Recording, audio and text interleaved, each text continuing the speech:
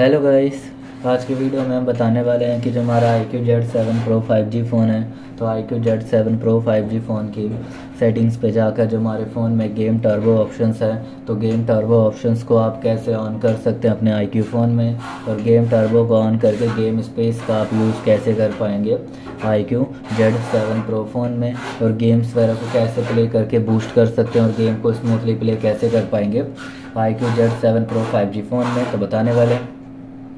तो video start करने से पहले हमारे चैनल को लाइक करें, सब्सक्राइब करें और साथ में बेल आइकन दबाना ना भूलें। तो वीडियो स्टार्ट कर लेते हैं।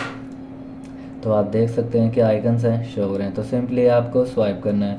स्वाइप करते ही वाले आइकन्स ओपन हो जाएँगे। तो इसमें से आपको सेटिंग्स पे जाना है और क्लिक करते ही फ़ोन की सेटिंग्स से ओपन हो जाएगी कुछ इस तरीके से। तो इस तरीके से फ़ोन सेटिंग्स को ओपन कर सकते हैं। तो आप गेम टर्बो को ऑन कैसे करेंगे? सिंपली देख सकते हैं।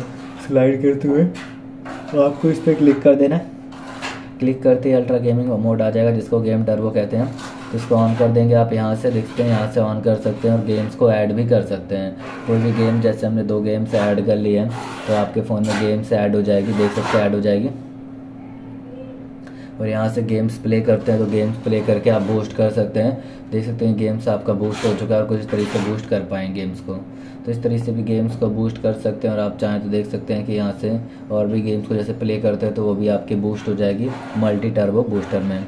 तो इस तरीके से गेम्स को प्ले करके आप बूस्ट कर सकते हैं अपने अल्ट्रा गेमिंग मोड को, और आप चाहें तो इसमें सेटिंग्स का यूज़ गेम साइड बार भी यूज़ कर सकते हैं। स्क्रीन मोड भी चेक करते हैं ये मोड का यूज़ कर पाएँ गेम्स गेम्स बारे में।